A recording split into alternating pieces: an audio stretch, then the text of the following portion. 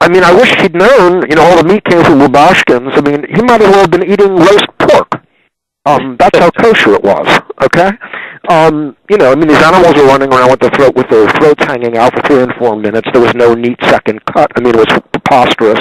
These were a bunch of paid-off, quote-unquote rabbis. They were, you know, nothing more than mafia scum masquerading as rabbis. Um, and then, of course, you know, people working uh, 12 to 16 hours a day for six, starting at six dollars and twelve cents an hour. Um, sexual exploitation. I, I was delighted when the Rubashkin son managing the place is. I think he's up for 9,300 and something odd counts of egregious violation of child labor. I mean, we just wouldn't know. I wouldn't know the fact that in New Bedford the workers were locked into the factory all day long, um, or that uh, if a person spent more than two minutes in a toilet, there was one toilet for 500 workers, or if a person spent more than two minutes in the toilet, they were fined $25. So the ICE raids are, ICE raids are really important. But, you know, mostly you get, um, you get either no coverage, or you get sob stories, or you get expressions of outrage. Now, I mean, now the new thing is, you know, with Nancy Pelosi and everyone saying, you know, that ICE raids are un-American. You know, since, you know, since when? You know, I mean, you know, I grew, grew up watching Eliot Ness. you know, I always thought, I always federal agents knocking the door in with an axe was really cool. You know, coming in with, with Tommy guns. That was, you know, that was pretty nifty. Um, but anyway, suddenly, like ICE raids are really bad. Um, but there's, I mean, there's no coverage at all. And then, then, and then on the other hand, you get, um, you know, you get, I, I mean, you know, you, you you get sort of the Fox attempt to answer it but it, I mean, most of those people are pretty stupid. I mean, the one person who's pretty good is, I guess, is Dobbs. Um, but even he can get a, a little sneery, so it doesn't kind of help.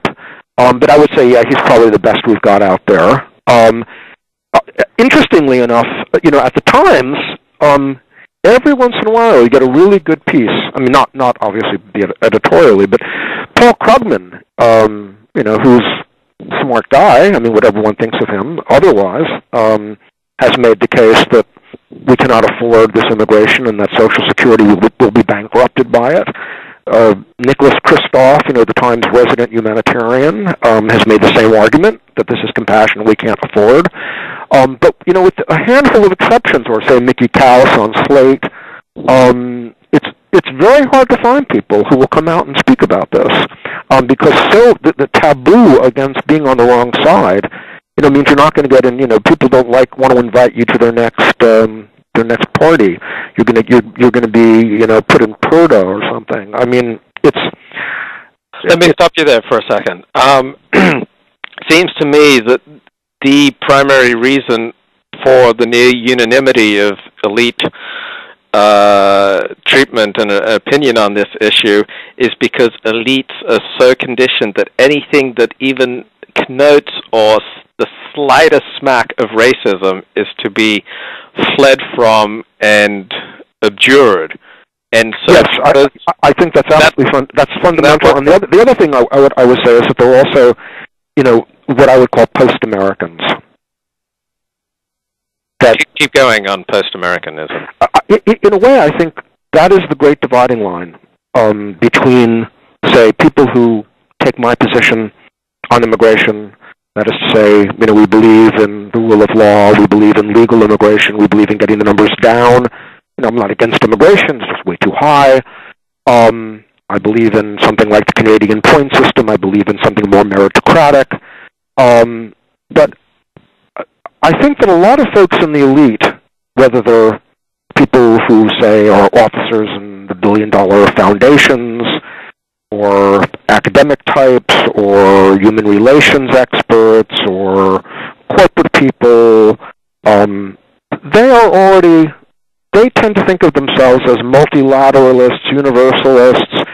Um, they regard the nation state as kind of old-fashioned and done with. And I don't think they see themselves fundamentally as American. I don't see, I don't see them as people who see their sense of I mean, I think one's fundamental sense of civic identity, how you see yourself in relation to the polity, the nation, is really, I think, the driving force in this debate. I mean, I am an American.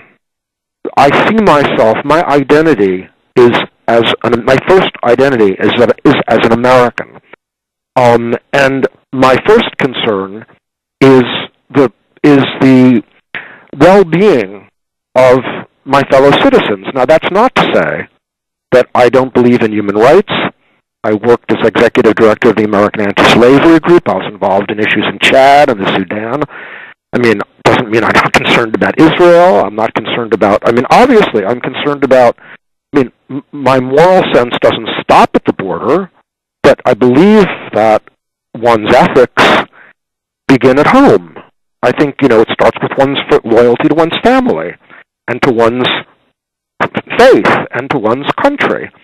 Um, and then, yes, afterwards, there are other things that I'm loyal to. There are other things that I'm loyal to. We all have lots of loyalties, and we have very complex identities.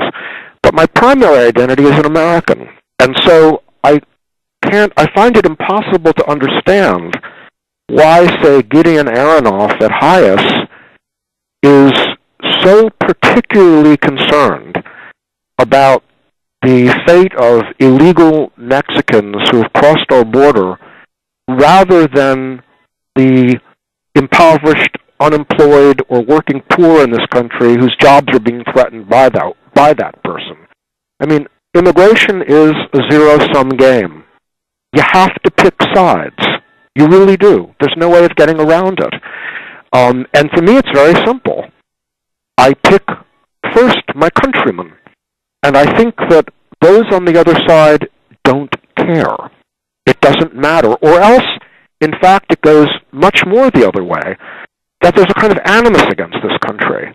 Um, that that they're they're they're over sympathizing with Mexicans or Central Americans is an expression of disdain for America, even though that disdain is in in in the end is impacting the least and most vulnerable among us you know, old people who still have to work, young people trying to get into the workplace, African Americans in general who have been experiencing unemployment levels uh, of the Great Depression so far as I know for the last 30 to 40 years. I mean, the Great Depression was only 22%. It's been running 40% for black men between 9 and 40 for as long as I've as long as I've known anything about public policy.